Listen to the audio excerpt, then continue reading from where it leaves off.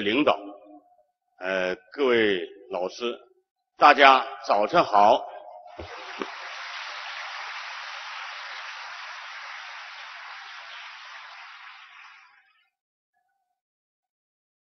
呃，非常感恩呐、主办方、承办方给我这次上台反省和忏悔的机会。呃，因为我每一次的反省和忏悔啊，都使我呃离我内心的罪恶、呃错误认识远离了很多，所以我要感恩。呃，我叫康金胜，来自辽宁抚顺，今年四十七岁。各位观众，在您的生活中遇到这样一种人吗？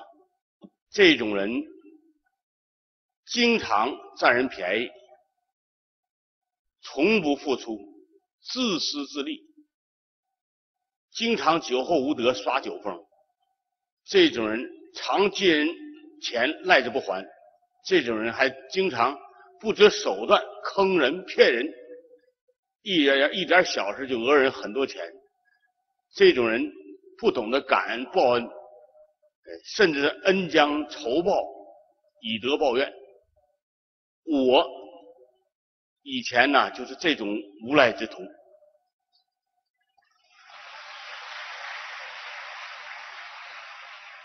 法律制裁不了我，别人又拿我没有办法。但是我万万没有想到的是，自然规律反作用力却让我得到了报应，让我吃尽了苦头，尝尽了苦果，让我痛不欲生。说到这里呀、我最对不起的是我年迈快有八十岁的老妈妈。老人家养活我们，我们五个儿子，我们哥五个从没有学习过传统文化，也不知道做好人是什么样子，互相影响学坏。我二哥二十八岁就把人杀了，逃跑了三年后被逮捕归案，判了死刑。我四弟五弟在三十几岁啊，就是因为一些犯的大案、人命案子，都惨死在监狱里。我大哥本来是我们市当地的一名人大干部，非常有才华、笔杆子，就是我们哥几个常犯的大案惹的大祸。他在精神上受不了，呃，常常喝酒，最后呃导致了呃酒依赖，得了酒精依赖性精神病，十几年间呢，常常进出精神病院。我儿子呢，在初中时就学坏了。跟人去抢东西，拿刀砍人。后来呀、我们全家都学习了传统文化，我们的命运呢，都发生了天翻地覆的改变。我万万没有想到，我们还能过上幸福的生活。我以前是什么样子？我是怎么转变的？我们一家人又怎样的过上了幸福生活？下面我我向大家汇报。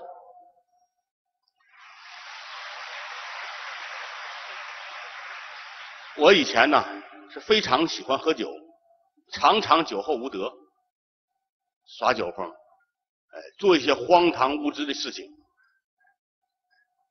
有一天中午，我们我和几个朋友刚喝完酒，搁饭店出来，走在了路上。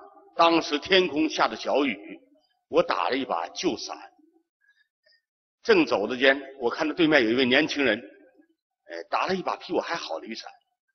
我上去不容分说，我就把这伞给抢过来了。他还没弄明白怎么回事伞已经到了我手里，我们就走了。我又走不远，又看了一对年轻的夫妇。那个男的手里还打了一把比我手里还好的雨伞。我上去不容分说，我就要抢那个伞。这个男士当时不给我，我三拳两脚将我给揍了。我就把雨伞抢了过来，这个男的噌就跑了，媳妇也不管。呃，这个时候我把伞拿到手，我把我的伞扔给他媳妇儿，我就往继续继续往前走，又走不远，又看了一位年轻人，又拿了比我手里还好的雨伞，我如法炮制，我又把伞抢过来，我把我旧伞扔给他，我在走不到一公里的路程上，我总共抢了六把雨伞，最后到我手里还是一把破伞。这个大家想啊，如果是您或者您的家人遇到这么样一个醉鬼，这么一个无赖，是什么样感想呢？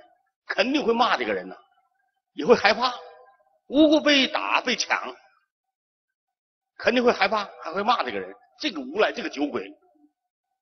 大家知道，这种因我而起的这个对我的咒骂、愤恨、害怕，就是我种了一个恶的种子，一个恶的作用力，将来一定会得到恶的反作用力、恶的报应。这个像这种事儿啊，我做了很多，这个都后来啊，哎，我都得到了报应。这个下面我讲一件呢，我得到报应的事情。呃，那个时候啊，我常常害怕自己，担惊受怕，惊恐不安，坐立不安，哎，总像要出事的感觉。这个有道是啊，呃，不做亏心事，不怕鬼叫门呐。而我做了亏心事，害怕人敲门。在一年的夏天。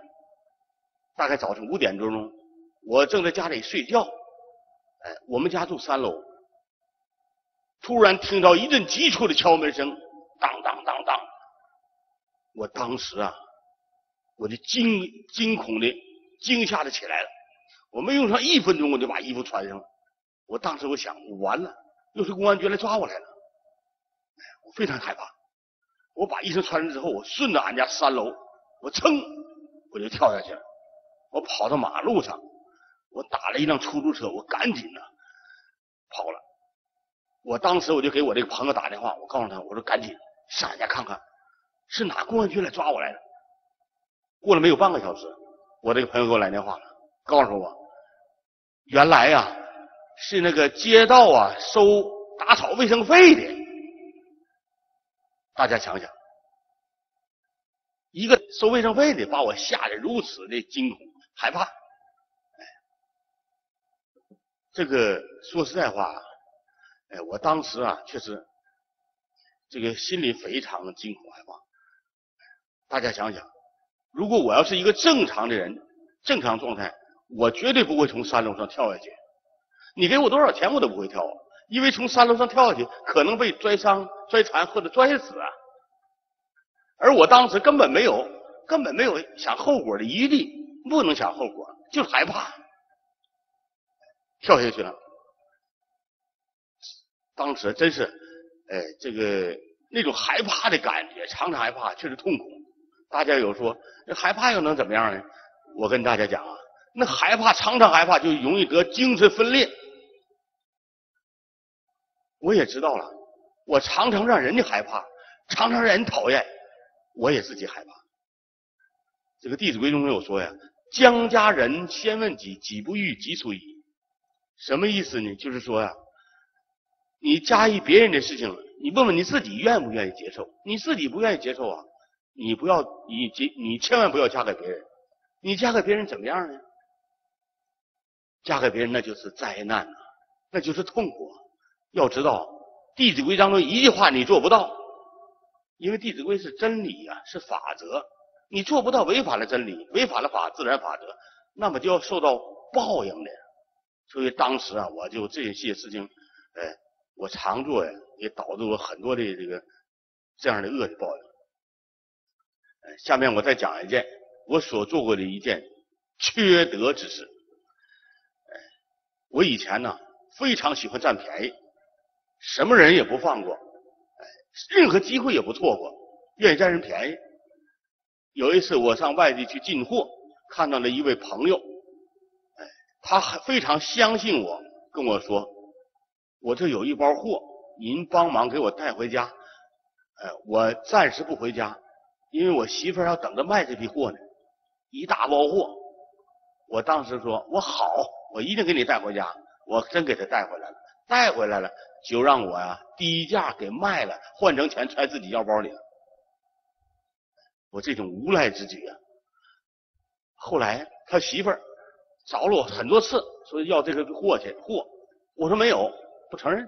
后来我这个朋友从外地回来了，回来找我，找我听说了，我就躲起来了。他没找到我，没找到我，我当时暗暗高兴，我太好了，我这不又进钱了，又发财了。其实啊，我这种无赖之举啊，就叫偷盗啊，这种占人便宜就叫偷盗。这个偷盗啊，怎么讲呢？是叫不予取，就是说呀，人家没有给你，没有真心的给你，你占为己有，就叫偷盗啊。比方说，我们在单位里，呃，工作上，不论是公家的和私人的，哎，拿人一支一支笔、一张纸，没有经过领导的同意，为自己所用，一定是为自己所用。哎，这个时候呢，你用了，你拿了。那么叫偷盗。我们传统文化里也讲啊，偷盗，哎，会得到偷盗是一个种子，是一个作用力，它会得到什么样的反作用力呢？会得到贫穷和下贱。可能大家对贫穷下贱一说还不太很仔细。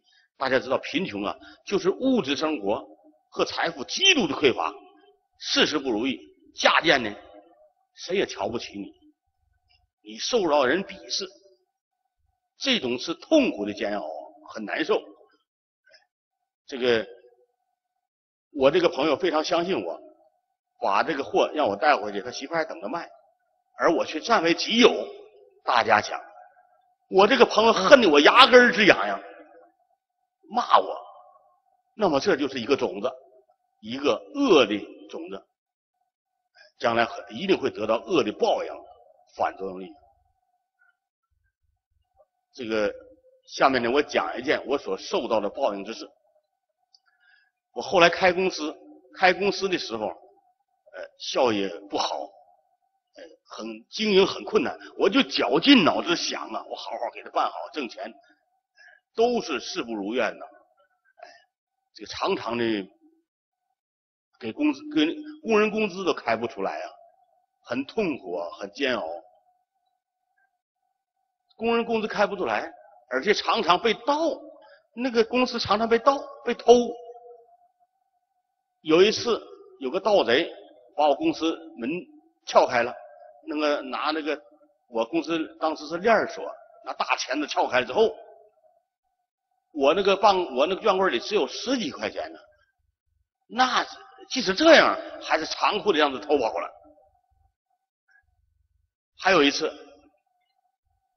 我办公室就两双旧鞋，又又让人偷跑了。我想啊，这个盗贼啊，当时想啊，也贼不走空啊，他不能白来啊。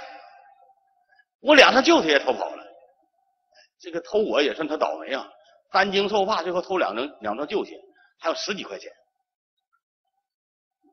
这个当时啊，确实也非常呃这个难受，因为大家知道。我也叫老板，也叫管我叫总经理，可我当时兜里呢，常常啊，就几块钱、几毛钱，甚至有时候兜里比脸都干净。人们还管我叫总经理，而且呢，那个时候就有进了点钱呢，就是被那个执法部门给我罚走了。当时我是一定是我我本人呢做的呃没有按照规定去做，遭到了罚款的处理。有一点钱就划走了，非常煎熬。可能我们这个这深圳做生意很多，这个企业遇到这样的困难时候，非老板非常痛苦。因为后来我学习了传统文化，我知道我会联系，我知道这种种的不如意，都是我当时这种贪心呐、占便宜心，哎，不愿意舍这种心感召而来呀。这个，所以说啊。后来我又得到了一些恶的这个事情，也是最让我难以忍受的一件事情，什么呢？就是我借钱呢买了一辆大货车，用了没有一百天，就在一个风雪交加的夜晚，残酷的被几个盗贼给我偷跑了。本来当时企企业效益不好，又遇到被盗，雪上加霜，因为这钱是借的，人家又管我要账。我当时非常难受，很痛苦。就这个借的买车钱呢，人家管我要了两年，我才还上了。当时非常痛苦。这个我呀，以前呢不知道啊，人的财富啊是从积善布施中来，我还以为是从坑人、骗人、偷盗、占人便宜得来的，不花得来的。这我这种价值观呢，也是我人生痛苦煎熬的一个根源呢。如果当时我知道人的财富是靠布施积善呢，做好事得来，我也不会去做去，我也不想，谁想遭过遭受痛苦呢？没有人想啊。但是现在的人们又像我以前一样，不知道这种根源，哎，苦不知道从哪来的，这个是最大的悲剧啊。要知道了，谁会去做呀？所以说，当时我不知道，这个，因为这个五伦当中啊，朋友有信，五伦当中朋友有信非常重要。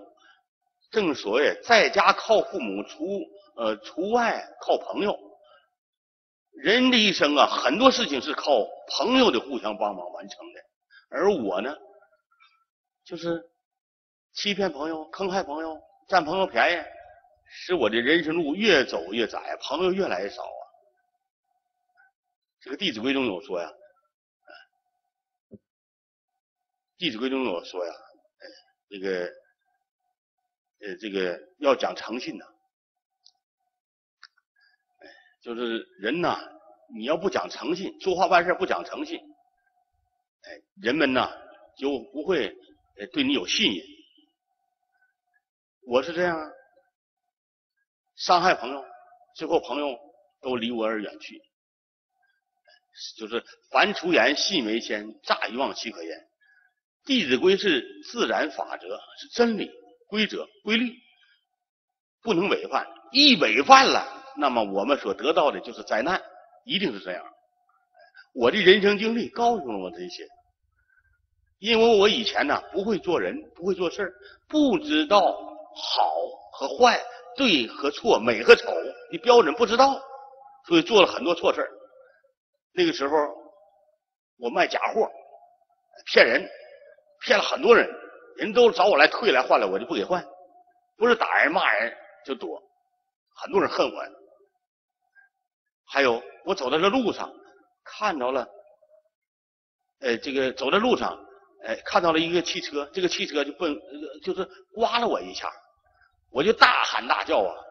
我说给我撞了很重，非得上医院。最后讹了很讹了人一些钱，拉倒了。这种无赖之举啊！还有我这人就呃不懂得感恩，不懂得报恩呐，甚至是恩将仇报、忘恩忘恩负义啊！这种人是最是恶劣呀！不懂得现代人很多人都不敢都能感恩报恩的。而我得到的什么样报恩呢？我帮别人，别人对我也不不感恩。更有甚者，我的孩子那时候在我母亲身边，我这么照顾他，拿钱供他养他，他对我刚见到我面，有时候都不说话，哪知道感恩呢？所以说，一个不懂、一个忘恩负义的人，最后你的儿女啊会找上你，对你也忘恩负义。岂不悲惨？人生岂不悲惨呢？我这个这个我深有感触啊！所以说，大劝奉劝大家，一定有有恩必报啊！哎，就一定不能够忘恩负义啊！这样不是人呐！而且呢，这个做了很多的恶事得到了一些报应。哎，什么报应呢？那时候啊，哎，我没有没有钱，没有事业，而且没有房子住。我常常走在那马路上，看到了新盖的高楼大厦，哎，看到了已经建成的高楼大厦。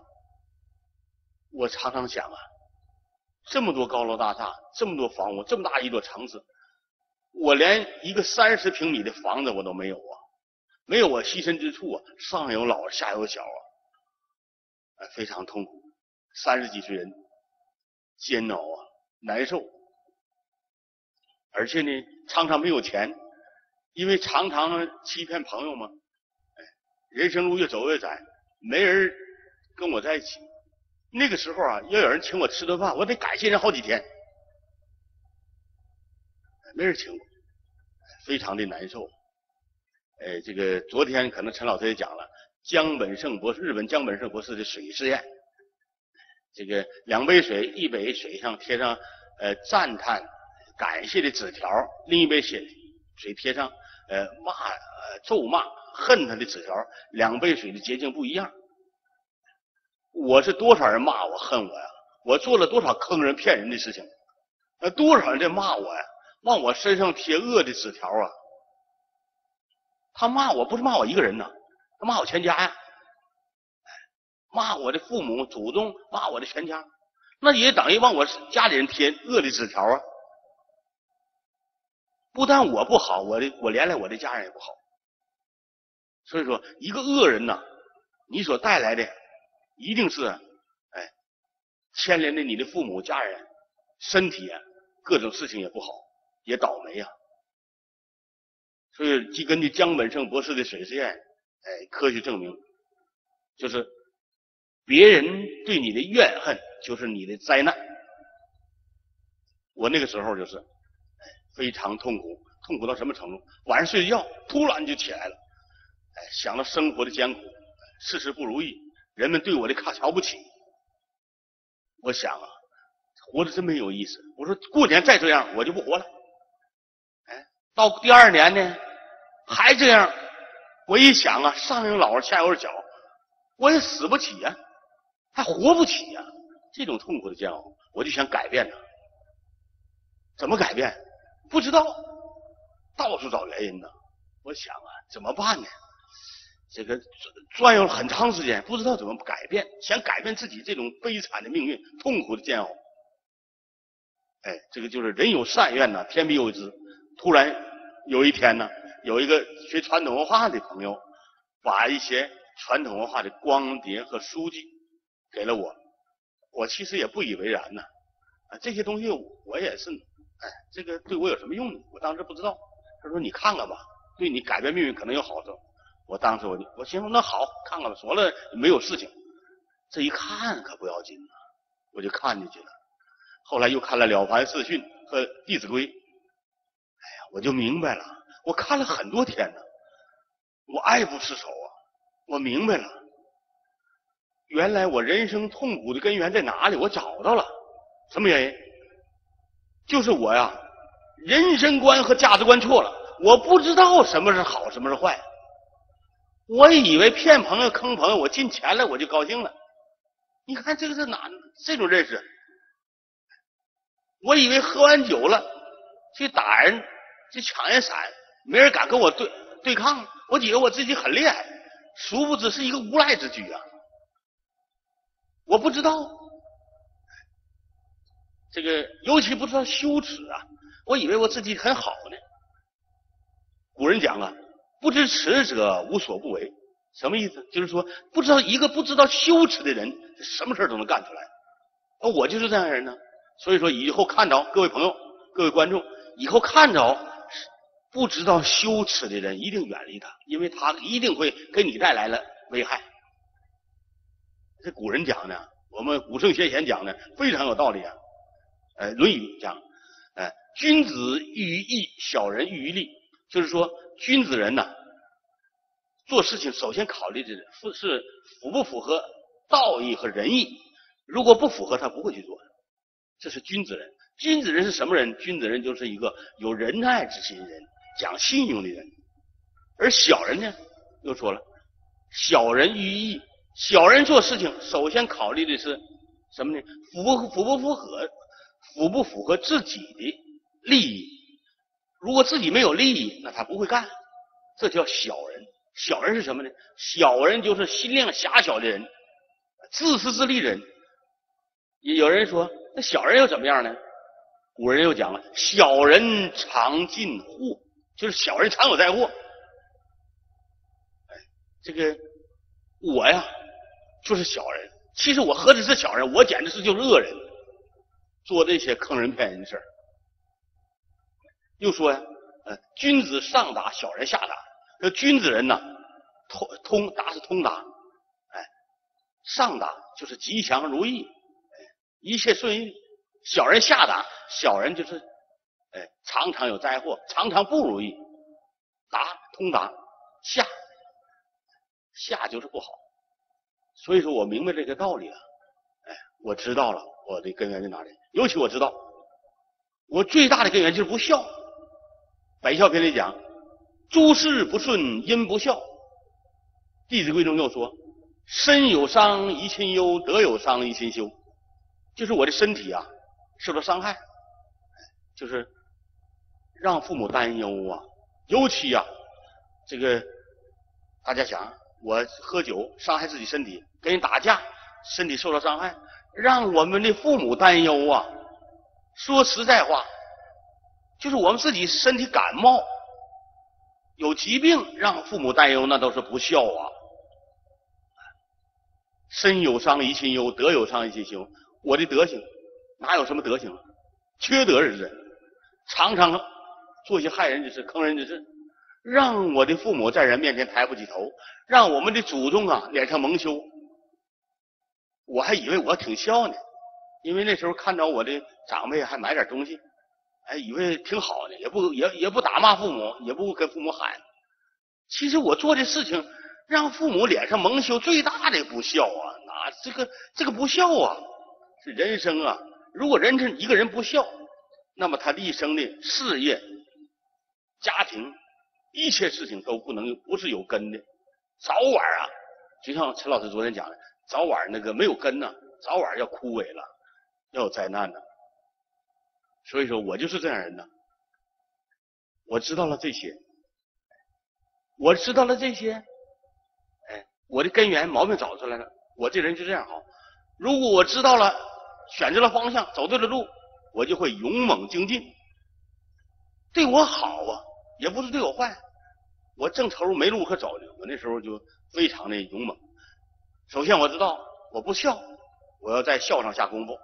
那个时候我的姥姥已经九十多岁了，在我妈妈身边哎，我妈妈照顾她，我妈妈也年近七十岁了。哎，我知道我她我妈妈照我姥姥很费劲，因为我妈妈那里呃条件差，呃地方还小。哎，我想到《弟子规》当中一句话，叫“父母呼，应勿缓”。就是说呀，父母的需要就是在呼唤你，不是他喊你叫你，细致的告诉你在呼唤你，他的需要，他的感受就是在呼唤我们。当时我知道了，我就跟我妈妈商量，把我姥姥接到我家里。老人家，我伺候了三年呢，三年当中一点褥疮没有，在九十七岁高龄的时候。离开了人世，在睡梦当中离开人世。这件事情，我既替我的母亲尽了孝心，哎，又报答了我的姥姥对我的抚育之恩。这件事情，我母亲也非常高兴。这个，而且呢，我做了许多的好事情、善事。因为这时间关系，不能呃详细叙说。比方说，呃。那个时候，以前呢，我伤害朋友太多。这个时候呢，我对朋友就常常有善心，依照《弟子规》当中一句话去做，叫“予多取少”。就跟朋友相处，常常给予多，索取少。有的时候甚至不索取。而且我知道，最大的利益人、利益朋友，就是让他学习传统文化。我让我的周围朋友很多人都学习了传统文化，传统文化让他们知道孝敬父母。哎，夫妻和睦，哎，做个好人，让他们有个幸福的人生。哎，这些事情做了很多，而且呢，这个我们在我我在我们家乡啊，去年九月份，哎，到今年的五月份，举行了呃两次、三场的这样的论坛，参加人论坛的人也有几千人。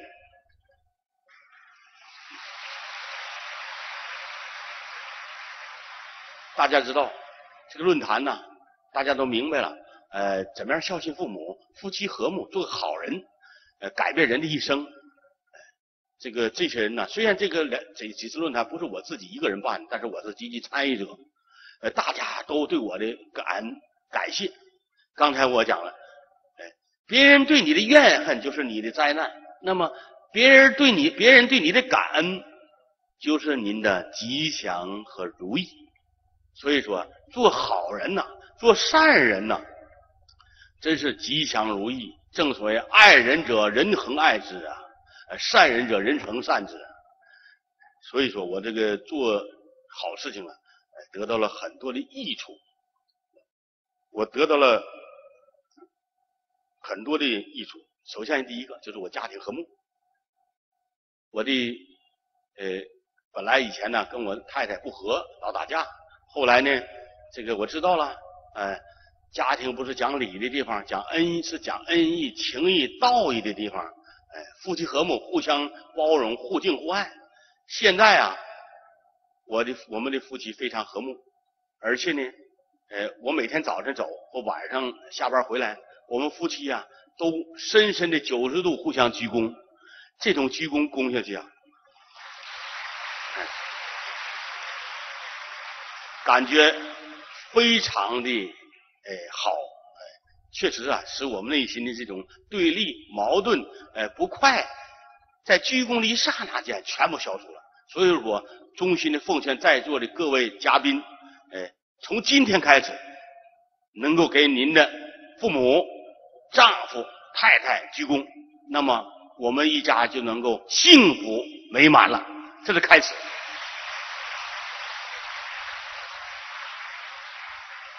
如果年轻人学会了鞠躬，那么你常常遇到善人、贵人来帮你。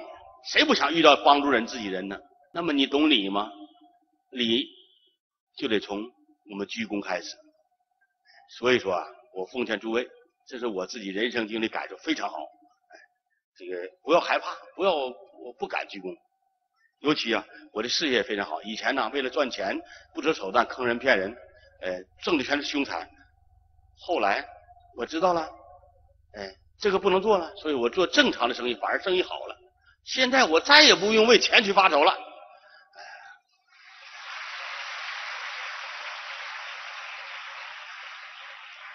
呃，让我有一个事情让我很是震惊，哎，也是感觉这个做好事的这一个呃好的报应。呃，就在我跟这个我们这个论坛做汇报、做义工，给大家无偿奉献、汇报自己经历的时候，五六场、五六场的时候，突然有一天，呃，公安局给我打电话了。喂，你是康金胜吗？我是。你是不是丢一台车呀？我是啊。找着了。哎呀，我当时赶紧，简直不敢相信自己的耳朵啊。为什么呢？想想当时我丢车那种痛苦、那种难受。丢了五六年的车都能找回来呀！由此啊，我就得到了好一个结论，什么结论？就是说，一个人做好事、做善事，您呢，不管丢了多么重要的、贵重的东西，不管是人事物，都会如愿以偿找回来。这是我亲身的人生经历啊！其实我得到最大的益处就是我儿子改变。下面讲讲我儿子的改变。我的孩子呢，从小在我母亲身边长大。呃，因为呢，我大家知道，我从我也不会做人，以前我也不会教育，更不会教育孩子。所以说，孩子在我身上没有学到任何东西。呃，反而我带给他的都是负面的、不好的影响。所以他在初中时候就学坏了。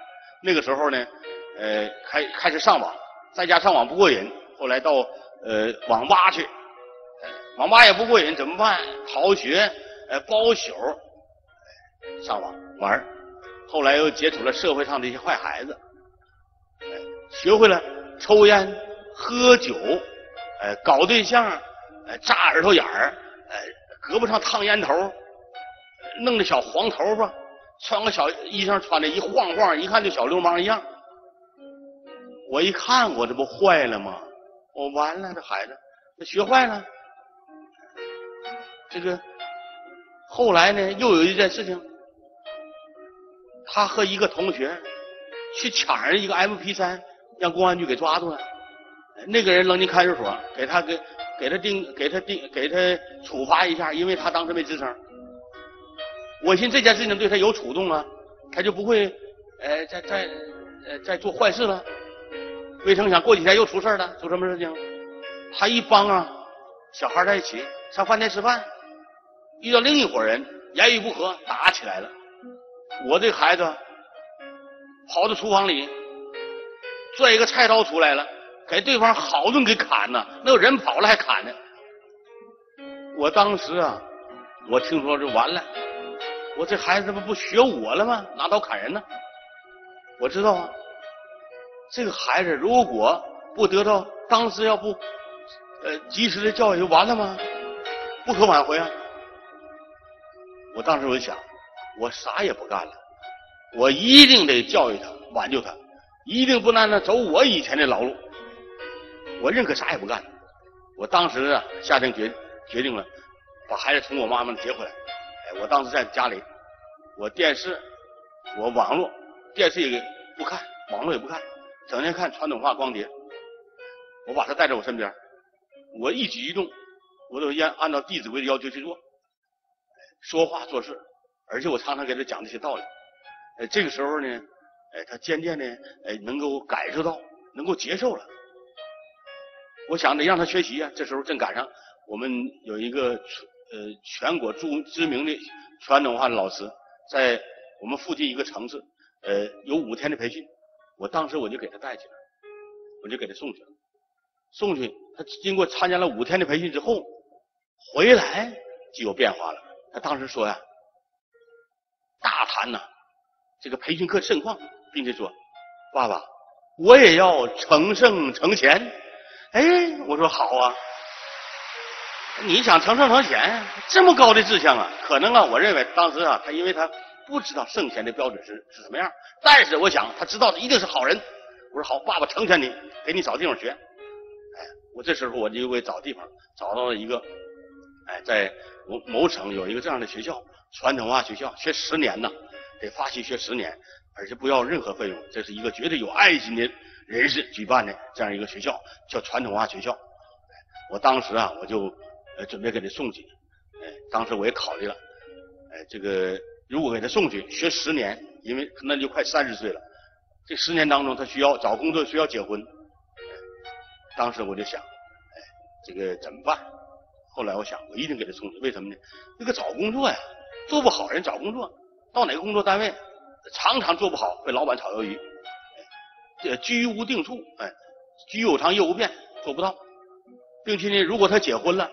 现在的年轻人，二十几岁、三十几岁，都是自私自利，哎，都是个性很强，一点小事就打架、闹别扭，甚至离婚。大家想啊，我们做父母的攒钱攒了十年二十年给孩子结婚，最后孩子离婚了，什么结果？让父母痛心呢？他们不孝，所以说不行，我说非非得让他学，我就给他送去了。送去，经过一年的学习。这孩子太变化太大了，在传统文化学习里学习太大了。哎，一年之后，他给我邮来一封信，哎，还有一些照片，请这个老师来打开，让他看看，让大家看看各位长辈、各位呃领导看看孩子照片。大家看，这位就是当初抽烟喝酒、呃搞对象、烟头烫胳膊、跟人抢东西。拿刀砍人这么一个孩子，现在还有点像一个人的模样。这个大家边看照片，我边给大家呃读呃截取片段呢，读这封给我来的信啊。尊敬的父亲您好，儿子这么久才寄去信案，望您见谅。在此，孩儿直抒胸臆，将自己的修学所感叩诚于您。记得月中旬，我曾经风趣地对同学说：“过两天二十五号，你知道是什么日子吗？是我来这里一周年。是啊，一年了，转瞬间而已。回忆起来，有着许许多多的感怀历历在心，伴随着成长的喜悦，德教的逐步深入，让我领略到了人生的价值在何处，大孝显亲。往日的颓废不知上进。”沾染恶习，苟且已活，对父母不孝顺，忤逆，从不想着争取去光耀门楣。二十年的人生都虚度了，浪费了，豪销了光阴还不打紧，不知在走这条弯路的过程中，不知伤害了多少人，令他们痛苦过，又有多少人为我惋惜，为我掉泪。如前所述，一切我今皆忏悔，绝不再重蹈覆辙，重走弯路了。孩儿是您唯一的希望，家族使命系于腰间。身负祖辈的寄望，肩担父母的夙愿，责任之大，任重而道远。孩儿一思继子，莫不振奋自心，替力自强。一年之中，孩儿除力行外，在知识与学识、才艺、能力的培养上有了质的飞跃。最不爱碰书、最没有耐心的我，在此期间意识到了，不学无术是行不通的。所以，经过一年的熏习，我总结吸取了。前十九年的教训，悟出了两个经典中的道理：其一，万事开头难，只要肯攀登。的确，唯有跨出第一步，后面的路途会随着经验与娴熟而得以一帆风顺。所以，孩儿带着这份明白去培养了许多的能力，比如阅读、观写作、观察、思辨、耐心、领导。工作等诸多方面。此外，我在字迹方面的提升尤为突出。这个，请放那个一下这，在这里我插句话啊，呃，孩子以前写的字啊，哎，就像苍蝇踩瘪的那么难看，现在还有点字模样。呃，都是，呃，他是刻苦啊，下功夫。现在依旧在刻苦练习，课间从来不休息。中午也在埋头苦干，结果无心插柳。没想到这样的态度使我在耐心、观察、专注等能力上有了前所未有的成效。下面就是孩儿的基本功。而发心将要练习四十余万笔画，以砥砺自己，近两万两千个。所以往后去信，每次去信给您，希望能检查字迹是否有上进。如果停止不前的话，说明已经不刻苦了。其二，知行并进。孩儿在力行及学习，孩儿在学习与力行的过程中，完全体会到了好学的重要性。不力行是行不通的。同样，不读书亦不可行。自古以来，圣贤无不以好学发奋为天下人的楷模。孔子之韦编三绝，董仲舒三年不识春园之草，苏秦头悬梁锥刺股，诸如此类，真的令孩儿汗然。彼何也百事可施，我何以一身瓦砾？相信古人可以，我也可以。正所谓不让古人视为有志，而非天资聪颖，但相信凭借着天行健，君子以自强不息的精神，定能会当科国，精进不止，而有为之指日可待。好，谢谢。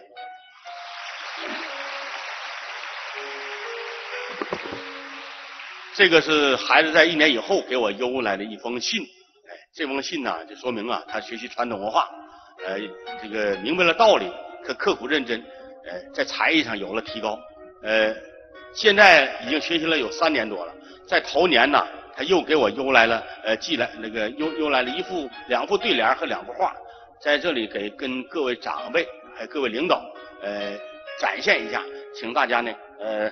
多多批评指正，孩子正在学习，这个也是学是学习传统文化之后的这个在才艺方面的长进。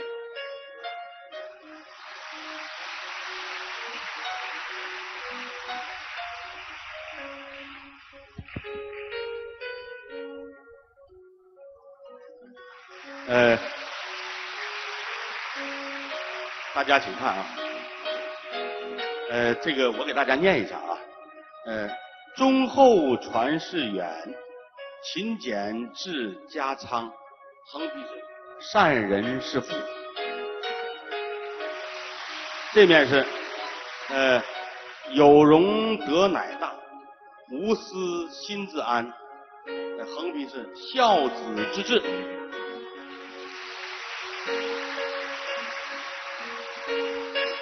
那边呢是竹子，呃，那个竹子呢。呃，大家知道，呃，竹子是表君子，呃，表虚心，呃，比较和谐，因为橘子竹子都是群居的，一长一片。呃，竹子这是这个呃国画，呃这边呢是表呃夫妻和睦，呃有益于，呃这个孩子这些的作品呢，呃尤其这两副这个呃对联他跟我讲啊，他练习了六个月，三个月练习笔划，笔划最重要，打好基础。另外三个月练书法。哎，当然了，写字写的一定是不好，但是在这里给各位长辈、各位领导展现意思是什么呢？就是孩子学习传统文化之后的改变，才艺上的提高。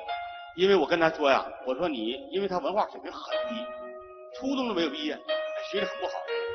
我说呀，你要拿出手，你写字。呃，这个才才艺方面拿出手，让人瞧得起。他很发奋刻苦，哎他很用功，所以说很短的时间，他有了如此的提高。这也是啊，《弟子规》当中的一句话叫“亲所好，力为具；亲所恶，己为去”。就是你的亲人，哎，你的长辈希望你如何，他就刻苦认真。好，谢谢各位老师。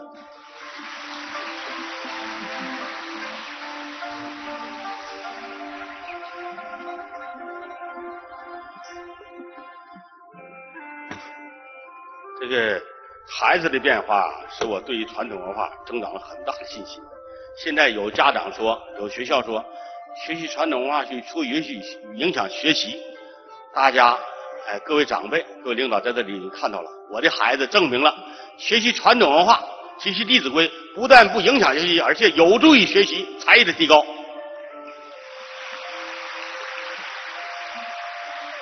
孩子的变化也证明了一件事情，说明了一个道理。呃，我们《三字经》《三字经》中讲，呃，人之初，性本善呐，就人人之初性本性本善呐。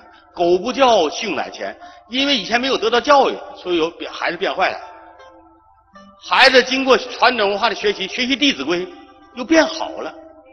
所以说，好人是教出来的，坏人也是教出来的，就看我们怎么教。所以说，奉劝的在座的各位家长以及天下所有的做父母的，您的孩子无论怎么不好，怎么学坏，怎么让你伤心，一定不要放弃。如果让他学习传统文化，要学弟学习《弟子规》，这是人性的教育，一定都会得到改变，都会提得到提高。我们老祖宗的教诲啊，我们传统文化老祖宗的教诲啊，这是人性的教育，任何一个。哪怕你心像冰块的，哪怕你是个顽石，都能给你打开，都给你溶解了，都给你化解了。真是我们老祖宗非常伟大，《弟子规》一篇就可以做到，不用说其他。这个我相信在座的各位领导、各位长辈，对于传统传统文化学习一定会有一些信心的。呃，我的汇报就到此结束，好，谢谢大家。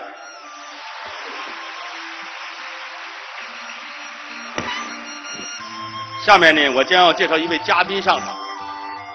这位嘉宾呢，他是从刑场上走下来的。他的汇报是一堂生动的法治教育课。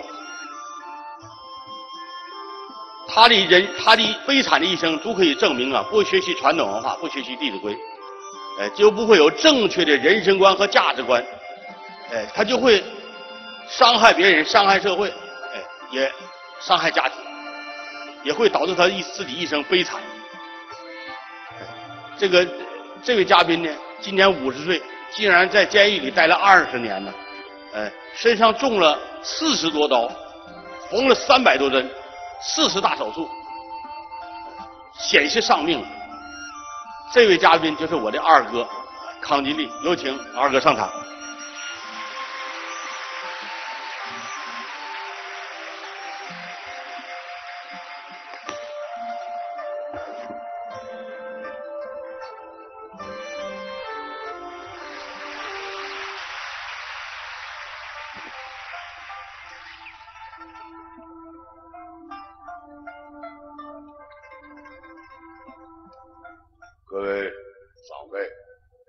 各位领导、各位老师，上午好。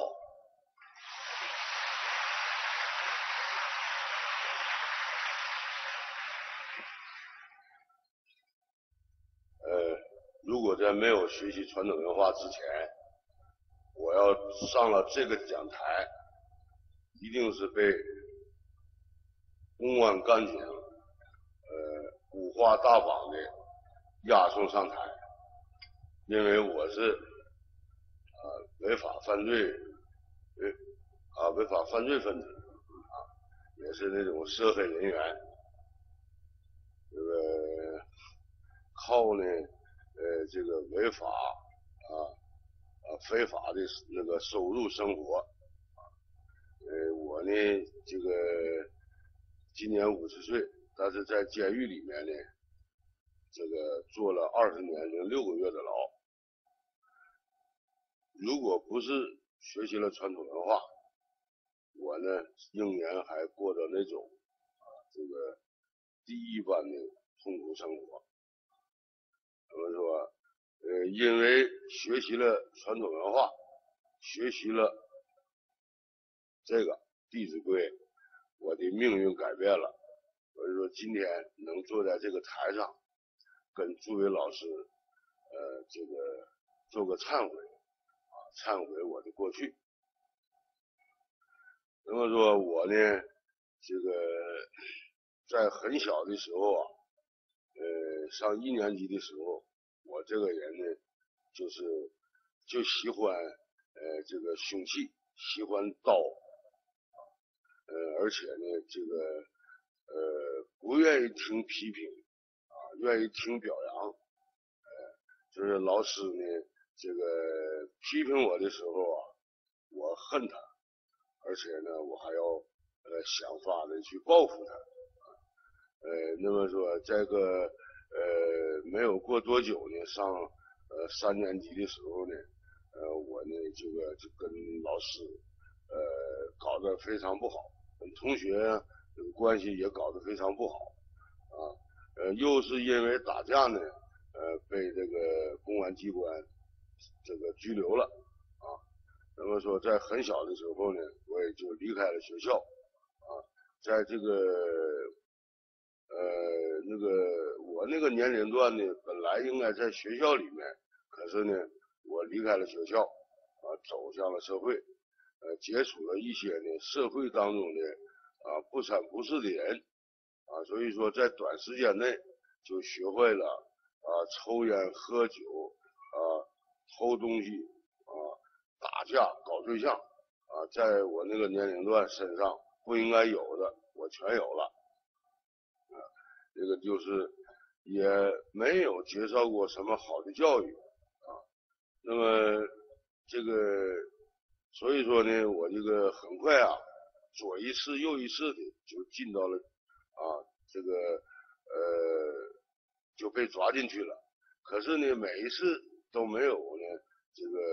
呃，使我呢，呃，接受教育，每一次回来呢，又重新的啊，呃，做了一件更严重的事儿，就又被抓进去了，啊，那么说没过呢，随着年龄的增长，我就呢，呃，形成了一个危害一方的这么一个犯罪团伙，啊，这个，呃，称王称霸，啊，啊，危害社会，啊，危害一方。那么说，我走路呢，在那个时候呢，我非常喜欢呢，啊，这个，别人给我让路，啊，喜欢呢，呃，我这个走路很自然的就晃着走，啊，啊，晃晃荡荡的走，啊，这个时候啊，别人要是给我让了路，我就感觉到啊，啊，非常欢喜，啊，呃，那别人要是不给我让路，啊，我就很很恼怒。所以有一次呢，在我们这个繁华的地方啊，我们这个呃辽宁省抚顺市这个繁华的地方啊，就这个找到了对方啊，找到了对方呢，就是仇人相见，分外眼红啊，我就上去呢，用刀子就捅了他五刀啊，这个对方呢被捅了五刀之后啊，已经倒在地上了，我们就已经走了。走了呢，我又回走了几步之后，我又摸回来了，啊，重新回来呢，这个被害的人呢已经倒在地上了，可是呢，我又给他呢捅了两刀，啊，我告诉他，我说的，呃，等一下你要到手术的时候，我要到手术台上，还要捅你几刀。啊，我就让你知道啊，你动了我啊，你要付出一个什么样的代价。当时呢，就那种这个这个这个野兽一般的那种心理啊啊，就是说呢非常没有人性啊。没过多久呢，人家就是说了啊，你不要去了，这个人已经死了。那当时我听到了这个人死了，我也是很害怕的啊，怕抓到，怕呃这个怕怕公安人员抓到，那抓到了就没有好结果。所以说，我就选择了呢跑路啊，逃跑，畏罪潜逃。那么我呢，这个当我离开我们家乡的那一瞬间啊，我看一看这个生我养我的地方，我在想啊，我是否能还能回到我的家乡啊？呃，这个呢，呃，是个未知数啊，因为有很多逃犯被捉拿的时候。他被击毙了，啊，我是否是这个结局，这个很难说啊。所以说当时呢，呃，一种呃很悲伤，但是呢是没有流眼泪，因为我们在那个时那个时候没有学习传统文化的时候，呃，如果流眼泪，那是一种耻辱的表现啊，不可能流眼泪的，不管你是因为什么。那么逃亡的生活呢？真是很是痛苦啊！这个在这个畏罪潜逃这个几年当中啊，当然呃就是怕抓到啊，这个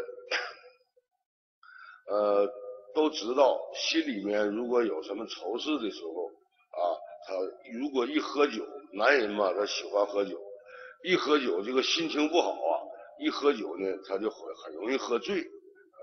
可是我呢。呃，有了这么大的事啊，如果呢这个事儿小，那可能呢过两天这个情绪好了就不会喝醉了。可是我这么大个事儿，我不可能啊不呃一喝酒就醉，呃经常啊因为喝醉了酒出现了丑态啊。那么在饭店吃饭的时候呢，也看谁看顾客呃看谁都像呢抓我来的便衣警察。就是惊恐万状那种啊，那么睡觉呢也呢睡不好觉，到后半夜的时候呢要聆要听啊是否有行车叫的声啊，听一听呢有没有脚步和走路的声啊，如果要有的话要做好准备，这样呢也吃不好饭也睡不好觉啊，有十几次都是那种啊，我把它称为啊。是称为灵魂出窍啊，十几次都是一样的感觉，就是我躺在床上，闭上眼睛，但是还没有进入深度睡眠，这个之间的时间里面，我的头一声脆响啊，咔嚓一声，一声脆响啊，我的身体就腾空了，腾空，我在往俯视这个床铺的时候，俯视下方的时候。我就看到了呢，一个呃人躺在床上，这个人呢，呃，这个眉心之间呢有一个枪眼，啊，一个黑洞就被枪打的，啊，这个流着斑斑血迹，啊，脸色呢很难看。我仔细瞅了呢，这个人就是我自己。当我意识到我是我自己的时候，我就休克了，忽悠一下子就什么也不知道了。那么说，一直到醒的时候就是第二天，啊，第二天清晨，呃，我一醒来的时候，我每次都在想，我为什么做这样的一个梦？你说他是梦，还没有睡醒，啊，这种感觉都是同样的时间、同样的内容、同样的过程，啊，十几次，为什么？啊，过后再想啊，这个就是吓的，啊，日有所思。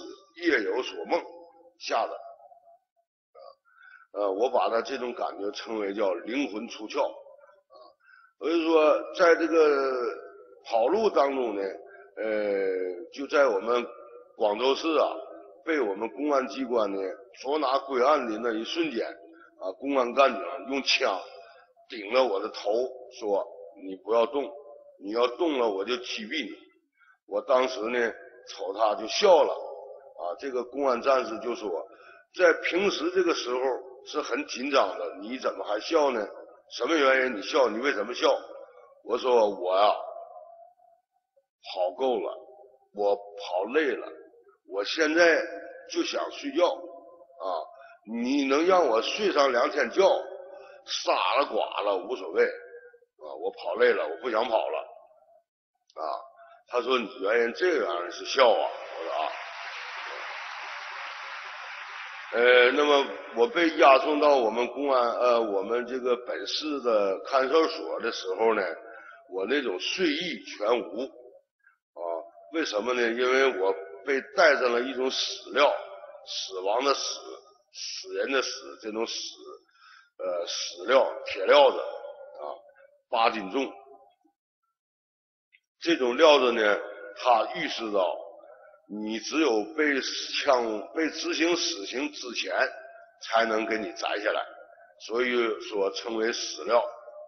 这种料子戴在我的脚上，我就没有睡意了，因为我明白，这个就意识到我一定是被执行死刑，啊，呃，活的希望很少。所以说呢，啊。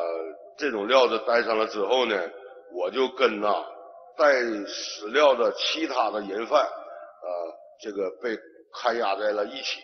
我们这些呢都是带这种死料子的啊，经常呢吃完了饭，呃，忽然号门开了，其中我们一个死呃带死料子的人被喊出去了，喊出去了，到下一次吃饭的时候，这个人就不会回来了。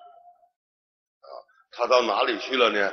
他就到骨灰匣里了，啊，也就是说，他喊出去是被执行死刑了，啊，那么在被喊出去的四十分钟之后，他喊出去的时候是人，可是，在四十分之内，四十分钟之内，他就变成了骨灰和尘埃，啊，他喊出去，首先是被拉到了刑场，啊，执行死刑。完了，把尸体呢拉到火葬场，完了进行火化。这个过程四十分钟，大致四十分钟啊。呃，根据物质不灭定律啊，这个人他还在，只是从一个人变成了骨灰尘埃啊。那么当时啊，我们当中呢，每一个人都是这种结局。我。也是跑不掉的。没过了多久呢，我又接到了一法院的判决，开完了庭给我下了判决。啊，我接到了判决之后呢，是触犯中华人民共和国刑法第一百三十二条，犯故意杀人罪，判处死刑。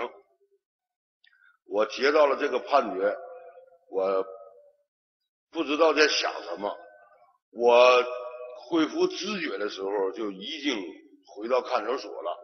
从法院回到看守所是怎么回来的，我不知道啊，就大脑一片空白。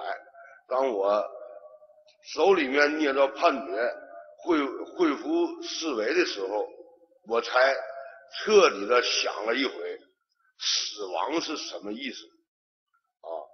这一生虽然是这个二十岁了。啊，身边的人呢也经常有啊死掉的，但是这没有引起我的注意。啊，这一回我才仔细仔细的想了一回，这个死亡是什么意思？死亡呢，人生下来他必然有死啊，那么有生就有死，这是自然规律。但是死亡的方式是不一样的。有的呢是自然死亡啊，像我们老死的啊，病死的啊；有的呢是非正常死亡，像车撞死的啊，这是意外事故；还有我们这种就是非正常死亡啊。那么说，我们这种死亡是自己走向死亡啊，就是呃呃，福祸本无门，为人自招之，自己走向了地狱之门。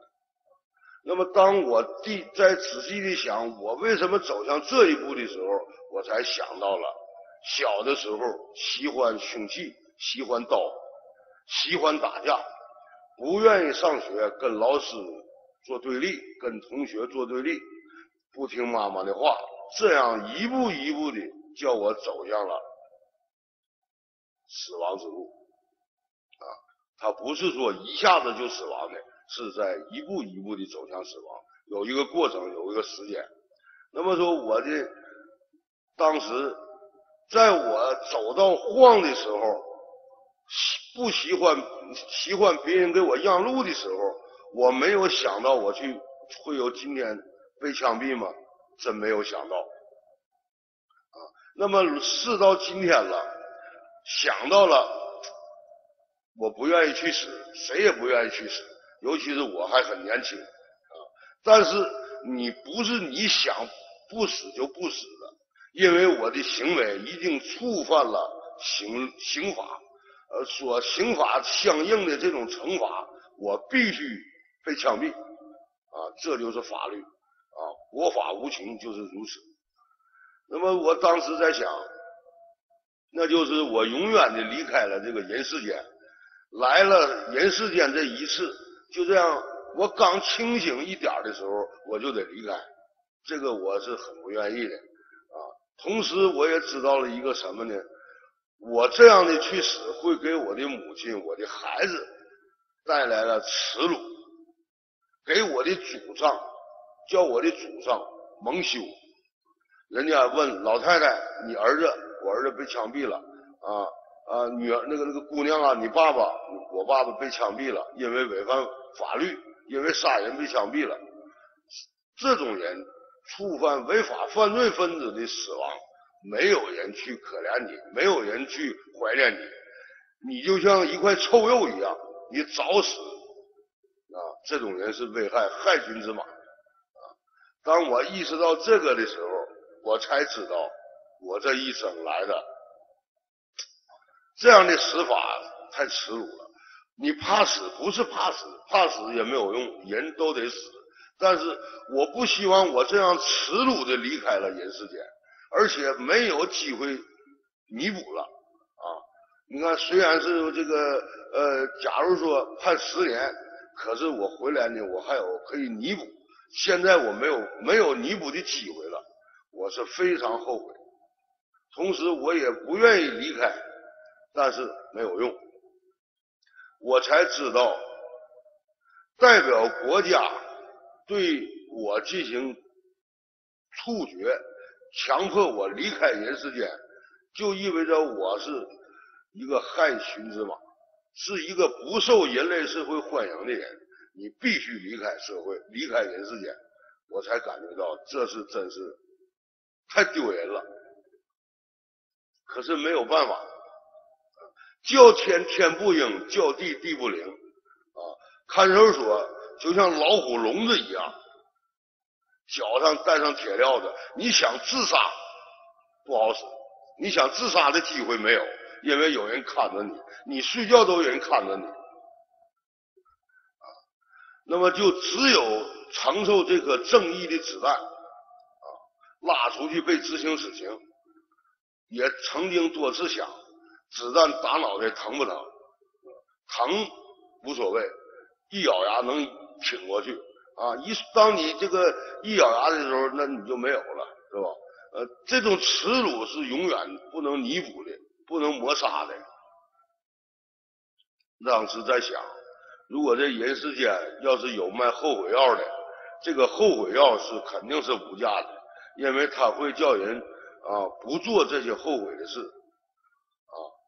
我也在想，假如说真正要能人再能来人世间一次的话，我要听老师的话，我要听我的妈妈的话，不要再这样结局我的生命了。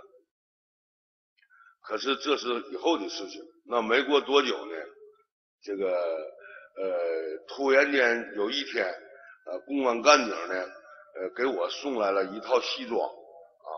这个西装我接过来，我才知道这是寿衣，这就是说明天我要走了，明天要对我执行死刑了。啊，当时我接过来之后，我在想，这么快，这么快，我就要跟人们永别了。想起来这个时候呢。兜里面呢拿出来了一个两个诀别书，一个呢是我的太太给我写的，他是这样写；另外一个呢是我的师弟给我写的，我师弟现在不在了。我太太写是这样：亲爱的，我爱你，因为没有救了你的命，我现在不能原谅我自己，我舍不得你。我没有跟你生活够，但如果有来生，我们还是夫妻。你放心，孩子我会抚养成人。在我离开这个人世间，我最孤独的时候，代表国家政府处决我离开人世间的时候，我的太太，她这样的还依依不舍的留恋我。我很感激他。另外一个呢，是我师弟给我写的。二哥，我们已经尽了全力了，可是没有用。如果允许，我可以替你挨这一枪，因为你有孩子，你有家，我没有。可是二哥，国法不容啊，不允许我们替你去死。二哥，人生的最后几几步，希望你要走好。这两个呃诀别书我看完了之后，我才体会到什么叫孤独，什么叫绝望。这种叫天天不应，叫地地不灵。你的亲人再多，可是在你上路。离开这个世上的时候，只有你自己去离开，你自己去走。很快呢，那一夜啊就过去了，天就亮了啊。吃完了早饭，我突然间看到了一张脸啊，这张脸上的表情是耻笑我。他呢叫赵三儿。我们管他叫赵三儿，他是因为杀了他的亲生母亲，用斧子砍死了他的生身母亲，被判处死刑的。他这个表情告诉我，你不牛吗？啊，你牛，你得先枪毙啊！你有什么牛的？我一看呢，我在想，我这个倒霉的命啊，我的命短不说，我连一个杀他妈的都不如了，杀他妈的还能多活两天。我在想，如果真有地狱的话，你这个赵三到地狱里，我再处理你一盘。我现在这没有心情。那么说，没没等我多想呢，号门开了，号门开了呢，门前站着四位这个法法院中级府人民法院的啊法警啊。行刑厅的法警，呃，都在一米八以上，身材魁梧，啊，戴着秘镜，戴着白手套，这个风口都很，都系上都很严肃，啊，当时听说我们的号里面，我们的仓里面，啊，有三位死刑犯被执行死刑，其中有我一个，那么法警同志呢，就喊第一个。喊出去了，第二个呢又喊出去了，喊到第三个他没有喊的时候，我就站起来了。我一站起来呢，法警同志说：“你蹲下，啊，那个死刑犯是不允许你自己站起来的，平时的时候你必须蹲在地下，啊，说你蹲下，我就蹲下了。他没有给我喊喊走，给那个赵三杀他妈那个喊出去了，”那么说，后门关上了之后，啊，法警和这个被提走的人犯走出去几步了，我就喊那个法警，我说：“哎，法警同志，哎，你回来。”啊，他就回来了。我说：“这个今天枪毙人不有我一个吗？怎么的呢？”完了，为什么没有我呢？这个法警同志瞅一瞅我，说：“你死也着急死呗，你着急就是死呗。”完，人家就走了，走了呢。我这个一低头，我在想，也确实，我喊人家不就是着急死吗？实际现在来讲说，就是吓的，脑袋空白了啊！我为什么没有被拉出去，没喊出去啊？可能就是为了今天让我跟诸位老师、诸位领导、诸位长辈来学学唐宋文化啊。那么说我为什么？没被拉出去呢，让呢我弟弟能说的清清晰一些啊。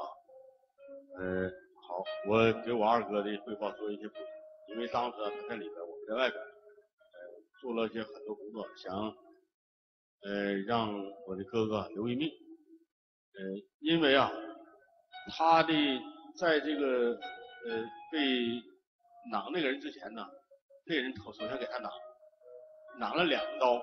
后来经过法医鉴定是重伤，根据现在的司法解释，这样情况是不被不不可以被判死刑的。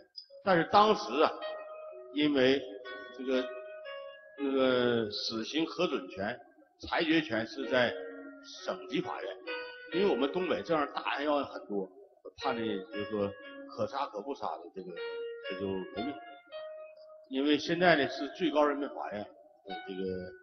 和死刑核准，那个时候呢，我们知道这情况，把这个呃这情况写成了一个说明。当知道我二哥要开公判会的时候，把这说明就给送给了一个咱们当地中法中地方法院院长，送给他了。当时他就回来给我们回了消息，说可以暂缓执行，但是不是不执行。我们就等待这一消息，但是没有正式的文本和文件来呃和判决来，我们还是在怀疑。所以仍然呢，把他离刑前的东西、衣服给准备好，送去了。而且第二天也到了刑场，不是到那个公判会去看，确实没有。后来呢，我们的申诉啊，上诉最高人民法院得到了回来裁决，就是改成了死刑缓刑二年。好，谢谢。死罪免了，活罪难逃。没过多久呢，我接到了改判的判决。判处死刑缓期两年执行，这个我也很欢喜啊，不用枪毙了嘛，是吧？很欢喜，啊，我就开始了度过了我的这个漫长的啊改造生涯。到监狱里之后啊，这个呃服刑啊，监狱里面的生活是什么样啊？我就用我们的汉字来说明。因为我们的汉字呢是智慧的呃符号，就是囚字啊，囚犯的囚，人字后四周加了四个框，这个囚字就代表了啊服呃这个服刑人坐牢的是一种什么感觉啊？那么说就这样，我呢这个度过了十六个春秋。度过了这个漫长的呃漫长的等待啊，如果说做一个比较，我们一二年的时候是后年，还有两年，我们感觉挺啊要等待，可是要我要过十六年是一种什么感觉？太遥远了，太漫长了啊！这个漫长的等待，可是呢，呃，我过来了。当我释放的那一瞬间，啊，我看一看监狱的大门，啊，我终于离开了，啊，但是我头发已经白了，啊，我进去的时候是黑头发，出来的时候已经是白发了，啊，我的孩子呢，进去的时候我四五岁，出来的时候我的孩子是二十多岁了。真正是那种那种大势已去，今非昔比啊！已经青春不在了。那么我呃回到家里来，第一件事呢，需要生存啊，需要活着。可是呢，我不会做生意，我也没上过几天的学，我呢也没有什么技术啊。那么让我去这个呃到劳务市场去做体力劳动，我还感到那种那是耻辱啊。我做了这么多年的劳，我再去做一个啊，上劳务市场出卖劳力，那我不甘心，因为在我的内心当中，虽然是做了这么多年的劳，虽然是躲过了啊这个那个一枪，但是并没有真正的改变了我的啊我的内心真正得到改变没有啊，我还是想到啊做大哥光荣啊走黑社会光荣。啊，我这个人生就要享受，就要过那种啊呃花天酒地的生活，那是人生的宗旨。再想到这个时候啊，那这一幕一幕可怕的就全部过，全部放在脑后了啊，呃很快的就给忘掉了。那么呃，尤其是当今社会，你这个没有钱的，没有合法的收入，我没有合法，我一分钱合法收入没有。那么怎么办呢？我又穿了新鞋，走了老路。啊，我可以去呃痛苦，皮肉之苦我不怕，但是我最怕的是耻辱。啊，我感觉到啊，耻辱我是忍受不了的。呃，人家呢，呃，家里面过大寿啊，这个邀请我去，啊，人家对我呢都是很有恩的。我坐了多年的牢。啊，有了这么多事，人家都没少来帮我。可是我参加了大寿之后，我一分钱没有。啊，这样呢，人家就不不会理解我，而且啊，嗯，会说什么呢？这个人没意思，不讲义气，没有钱花。啊，不是你没有耻，是你连人都做不了了。啊，不能做人了，你要挨骂的。啊，我是感觉到耻辱，我这种耻辱我是受不了的。啊。我当时呢，觉得呢没有办法，我只能走老路，穿新鞋走老路啊！我就开始了重新我的啊原来的违法犯罪生活，在短短的两年的时间内啊，我又啊这个积累了，就是我是零七年放的嘛啊，到零九年的时候呢，我呢呃也是这个进了啊一些凶财。可是这些凶财呢，这些凶财又没有了啊！这个祸备而入，易备而出，就是你不是好到来的钱，你必然呃不是好到走，而且呢，你还顺便带到一些灾难啊！在零九年的时候，我的人生当中又走了啊到这低谷啊，就是没有钱了，又是感到那种耻辱的生活难以忍受，我在想。啊，这个虽然是用命换来的钱，但是呢，他也就这样的稀里糊涂的就没了。那么说，在这个时候，我在想，与其是这样的痛苦的活着，倒不如我潇洒的活着个一年两年，完了再死掉无所谓。我可不能这样耻辱的活着了。想到这，我在想，啊，你有钱的人，我要拿你们开开杀戒了。啊我要选择一个半个的啊，我枪口瞄准你们，我要拿你开刀了啊！在这个之前呢，我在想啊，你这个做生意你也得有本钱嘛，没有本钱你也生意也做不了的，不管是违法的生意还是合法的生意。在这个时候呢，我就选择了呢，呃，寻寻找朋友帮忙啊。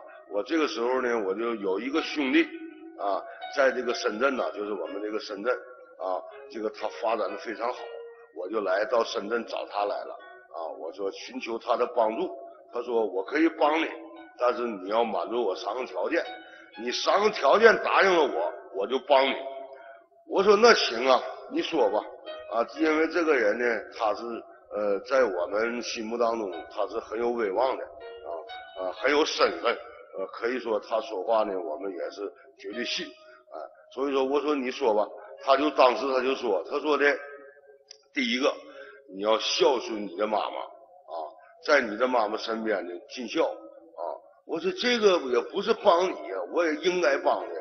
他说的，因为我四弟弟跟他好，他说你四弟我没救了，我心里面挺挺难受的啊。你要尽到了孝，就替他尽了啊，替他尽孝，我就一是一种安慰。我说这个可以啊。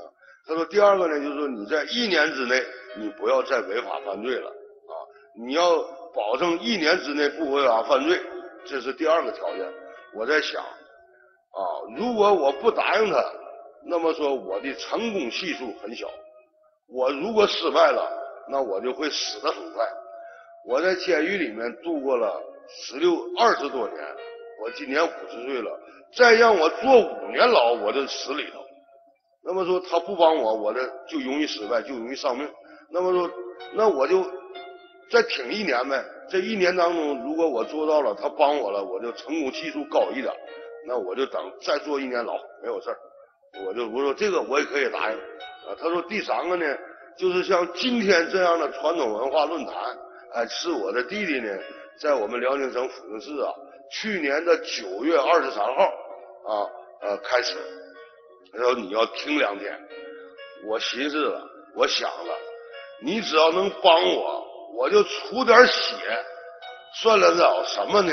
何况做两天，这个生死攸关的大事我说我去做去。我就去了。说句实话，这个传统文化呢，我弟弟和我妈妈他们是信了，呃，学了很多年了。可是这个跟我没有关系，他们信他们，他们学他们的，我看都不看。哎，但是这个朋友的话我得听，为什么呢？这个是一个条件啊，我就去了。去了呢，就听到了这个胡斌老师。就昨天做十三所学校开除的那个胡斌老师，他在分享当中啊说了一句说，你要做好事啊，不做呃恶事违法的事，做好事儿你也能达到你自己所要的目的啊，你也可以达到你的目的啊。我这一听他是那样说的啊，我才明白，原来人世间还有这一条路。他不外乎就是一个到敬老院伺候老人、收拾收拾垃圾，这个事儿我也能做呀，张手就能干。那我为什么我不去做去呢？对不？如果我要是做了这个，我也不用死了活了的，也不用再进监狱了，我也能达到我的目的。有面包吃，谁挨饿呀？对不对？他那个那个有好日子过，谁去上监狱里去过去？哎，我也干。哎，当时我就决定呢，啊，我也学习传统文化啊，做一个有道德的人啊，孝敬父母。因为人家说了，你只要这样做，他就帮我嘛。那我就在我母亲身边呃生活啊，我就我跟我母亲在一起生活的这一段时间呢，可以说我这五十年呢，跟我妈妈一起二十四小时单独在一起的时候一次没有。就通过这个我这个朋友告诉我之后，我才能跟我妈在一起啊，住在我妈身边。哎，我感觉到啊，有一种特殊的感觉，从来没有过的感觉，就是跟妈妈在一起生活呀，挺幸福，挺快乐。哎，这种快乐和幸福呢，是以前没有过的，头一次品尝到。人家告诉我，这叫天伦之乐啊，我才知道跟老人生活在一起。不但是你的责任，那还是一种快乐啊！太好了。那么我呢，就看到了我妈妈身边有两个布娃娃，就是小孩玩的布娃娃。那开始我在想，我说这个老太太她七十多岁了，她拿布娃娃干什么呢？突然间有一天，我想到她在想我的两个弟弟。我们哥五个，我妈妈生我们哥五个，我的两个弟弟。已经不在人世间了，正好我们他这两个布娃娃，我妈妈睡着了想我那两个弟弟，睁开眼睛还在想我那两个弟弟，就拿两个布娃娃当我的弟弟了，当精神寄托了。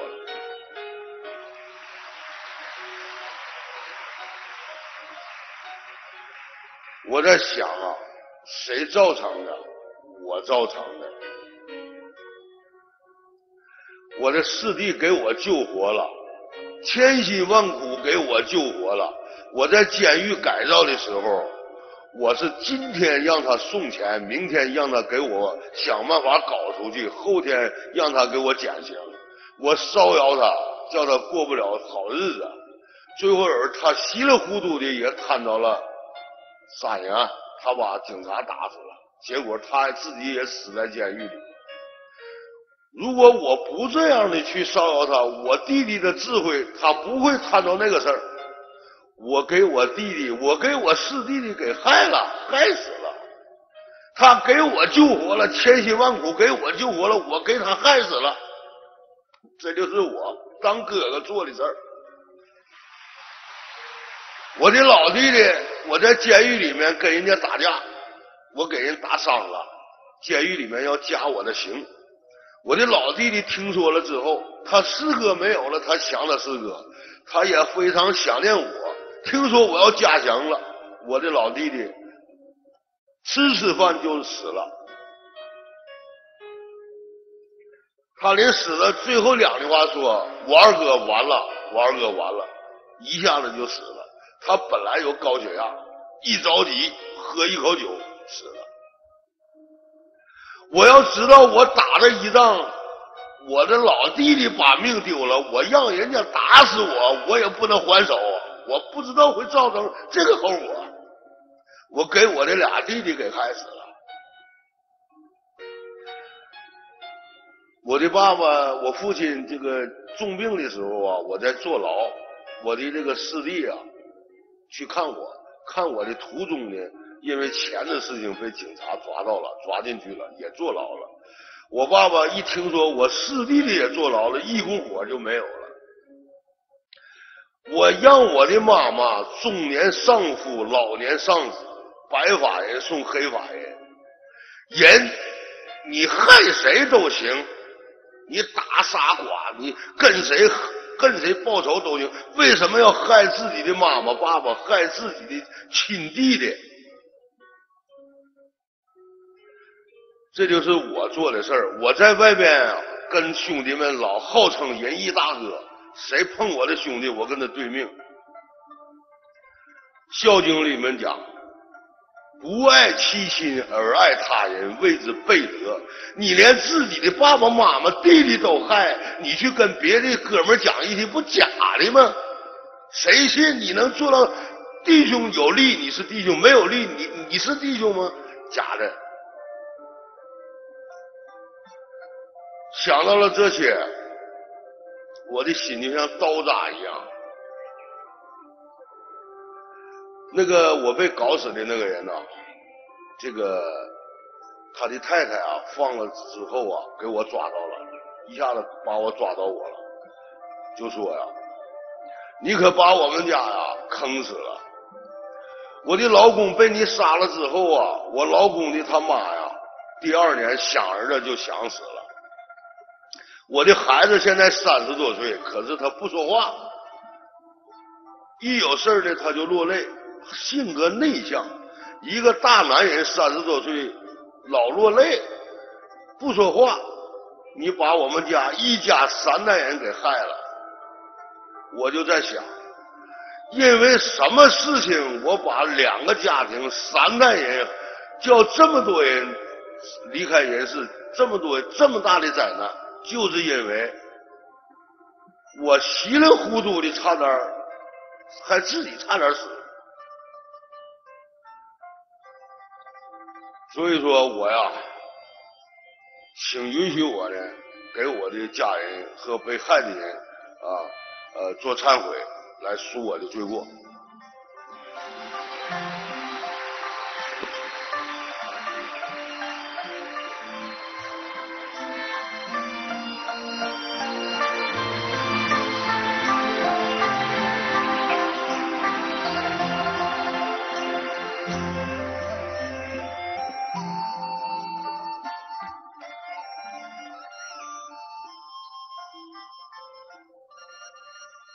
朝有一个律条啊，殴父母者杖毙，就是你打父母了，你要用棒子给你打死，这是法律。我给我的家人害得这么惨，我应该怎么一种死法？如果真让我死，就是你必须去死，我自己选择死法，我是往油锅里跳，这样我会，我能安慰一些。智者之情胜于鞭打，可是人死不能复生，我的妈妈还在，我的死去的人他们不能活，可是我在想，如果我能为他们做点他们没做的事情，想做做不到。想报答谁的恩做不到，他报不了，我来报。这样呢，来了却我的一生。所以说，这个跟着呢，有幸跟着这个团队大会老师呢做论坛啊，我也感到呢传统文化的魅力。呃，去年呢在石家庄呢做论坛，有一位警察同志啊，他给我写了一封信。尊敬的康吉利老师，非常感恩你的汇报。我是一名警察，亲手抓获了几百名罪犯。原先我俩见面必定是剑拔弩张，今天我们非常和谐的待在一起，亲切的握手，是道德的光芒冲开了我们之间的黑暗，它也能将冲开所有违法犯罪分子的黑暗。我代表全国。近两百万人民警察向您真诚的敬礼。我不是在炫耀，我是在说，像我这样的人学习了传统文化，警察同志也尊敬我，也他也希望我呢能做一点啊，为其他的犯罪人员呢教育的工作啊。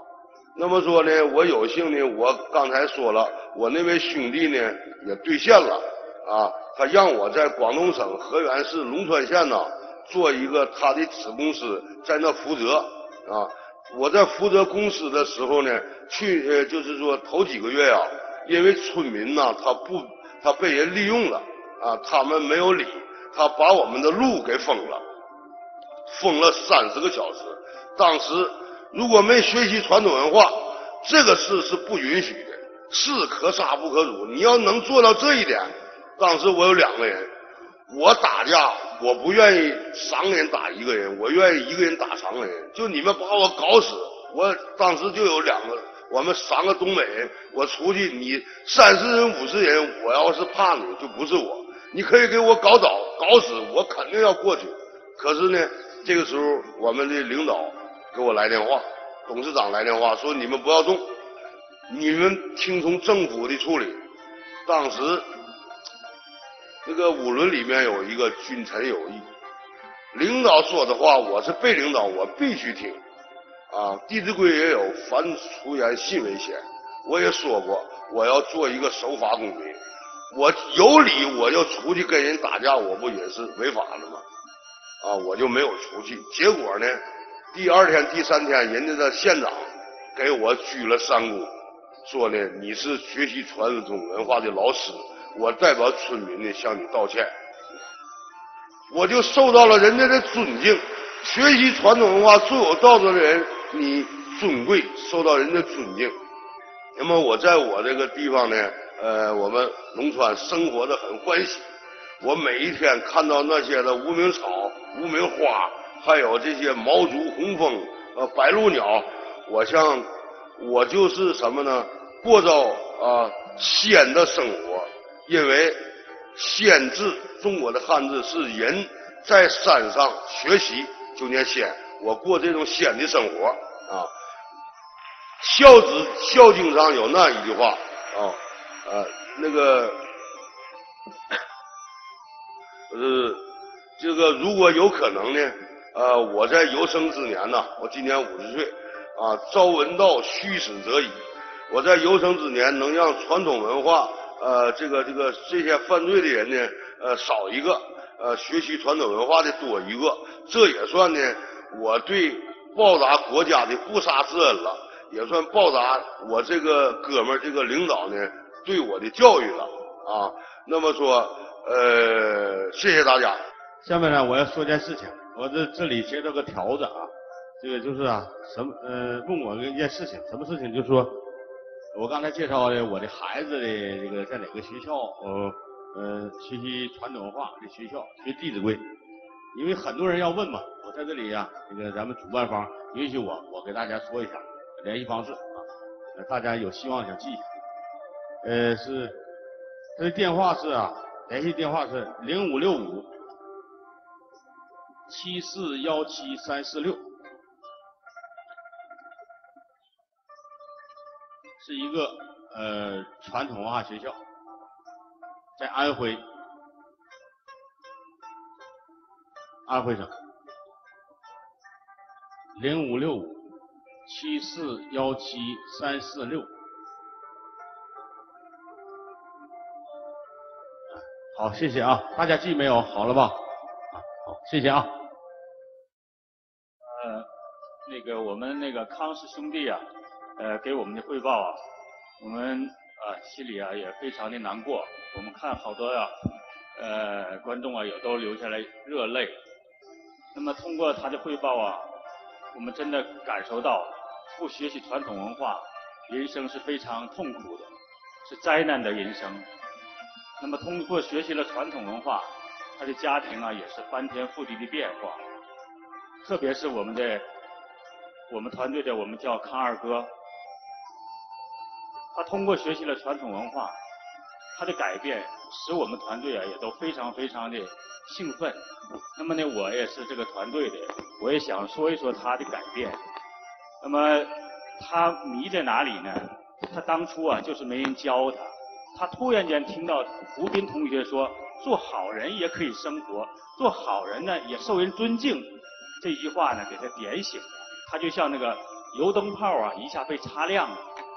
那么呢，他按照这个方法去做，现在呢，他的感受呢，非常非常快乐。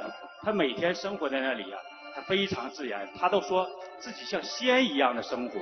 他看那个草也欢喜，看那个树也欢喜，天天跟妈妈在一块那种高兴的劲儿啊，那是特别特别的幸福。所以啊，我们再一次证明了传统文化真是太好了。我们必须要学习传统文化，不学习传统文化，他痛苦。那么我也在奉献大家，呃，在走黑道的、走黑社会这些人。你们呐，真的要悬崖勒马。看到我们康二哥的经历，他二十二十年零六个月的监狱生活，一身被砍了四十刀，缝了三百多针，而且用两个家庭啊五条人命换到了今天给我们讲这堂课，就证明了一点。走黑社会是绝对行不通的。他的道路告他告诉我们，一定要学习传统文化，一定要听老师的话，听父母的话，是吧？他非常非常的啊，非常非常的慈悲的告诉我们呢，千万千万别再做恶事了，这样啊，对不起我们的父母，对不起我们的孩子。他呀，经常也跟我们说，他说我要让今后的。有生之年，多讲，让更多的人呢不犯罪，让更多的人呢都孝敬我们的父母。那么这是康二哥他发的大愿。那么呢，康二哥他既然发了这个大愿，他呢做的也非常非常的好。他是一个那个社会的人，走上了传统文化的这个道路。他从一点一滴做起，他的行、住、坐、卧非常非常的。啊，非常非常的如如理如法，让我们看呢也非常非常的快乐。所以我也是代表我们团队啊，也是经常啊跟那个康二哥说，康二哥的变化太好了，我们都要向康二哥学习。所以再坏的人没有康二哥那么坏，那么就证明了一点呢，好人是教得出来的，坏人呢也是教出来的。最重要一点呢，坏人呢是一定能教得好的。这就是传统文化的魅力啊！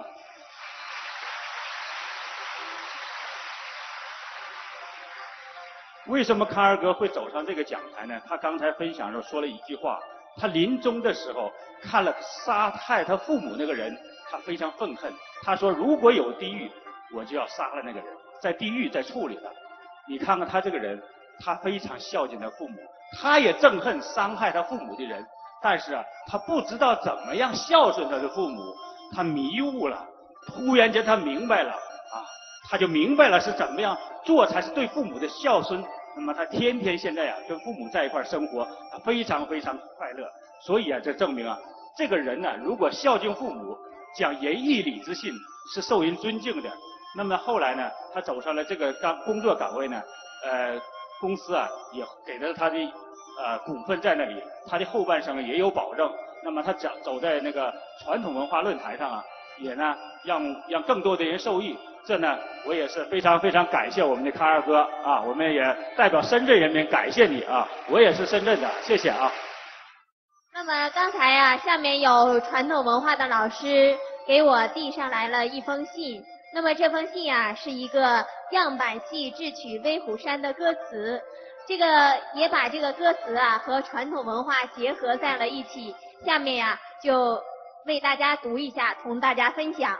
歌词是这样写的：早也盼，晚也盼，探穿望双眼。怎知道今日里打土匪进深山？这个打土匪啊，就是预示着我们自己身上的烦恼习气、一些坏习惯。进深山呢，就是走进到我们内心里面去，我们的人性本善。接下来的歌词是救穷人脱苦难，自己的队伍来到了面前。那么这个救穷人呢，就预示着我们现在的人呢，虽然是很有钱，但是我们精精神上啊却是很匮乏的。自己的队伍就是我们这些传统文化的老师们来到了我们的面前。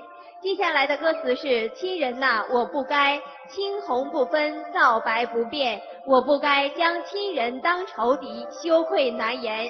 就是说呀，过去我们有一些人对我们传统文化的老师有误解，那么现在明白了，也感觉到非常的羞愧。这一个歌词啊，是我们传统文化里面有一个老师想要上台上台呢，给大家来演唱和大家分享。这位老师呢，就是刚才为我们大家做分享汇报的康金丽老师。好，让我们有请。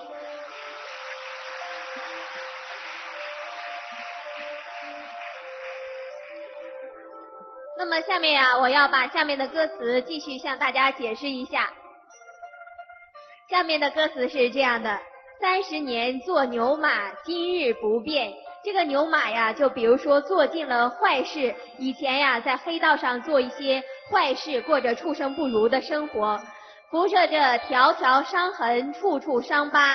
那么刚才康老师在给我们汇报的时候也介绍了，他身上呢有四十多处伤疤，缝了三百多针。那么现在呀，也请康老师为我们深圳的各位父老乡亲展示一下您身上的伤疤，可以吗？好，摄像师、摄像老师。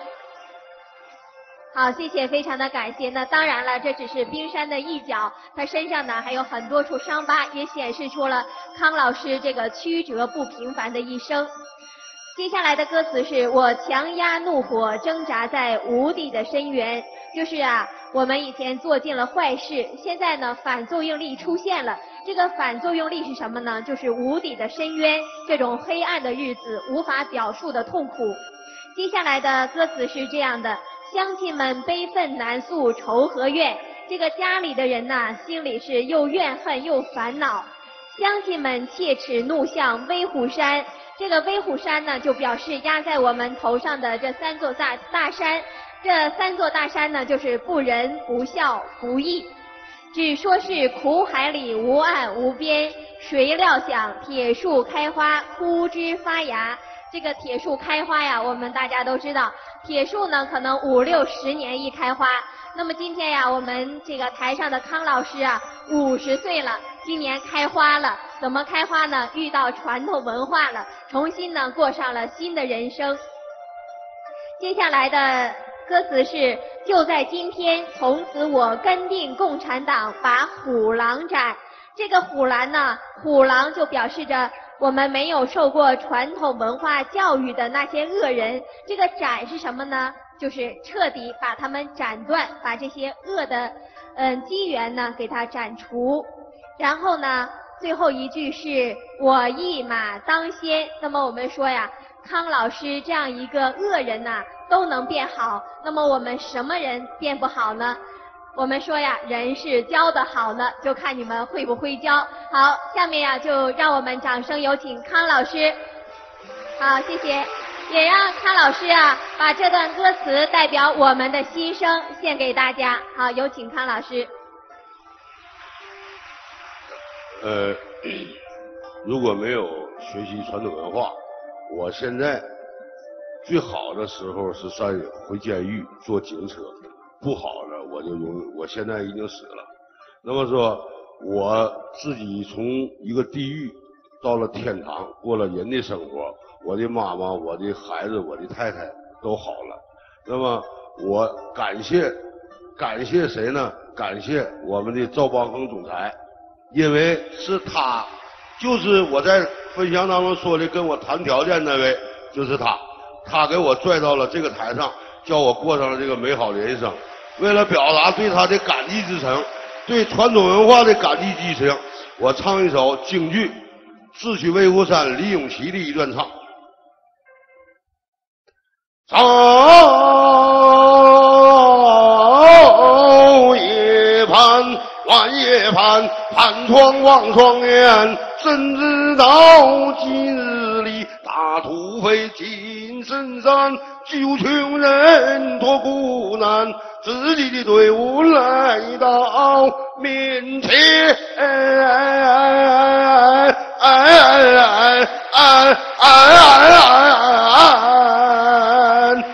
青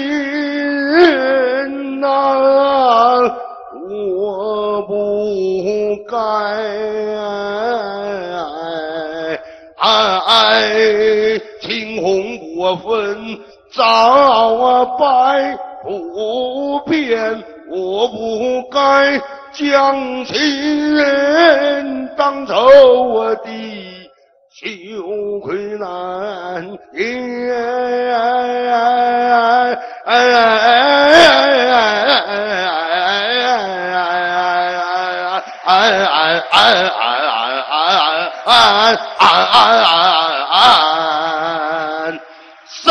三十年做牛马，我天日不闲，付出这条条伤痕，处处伤，把我强压怒火挣扎在无底。深，乡亲们悲愤难诉，仇何怨？乡亲们却是怒向威虎山，只说是无岁月无边。无吹了枪，如开花，裤子发芽。就在今天，从此我跟定共产党，把虎狼战，不管是水里走，火里钻，粉身碎骨也心甘。终有那天，难一番天，扫平那威虎山。我一马当先。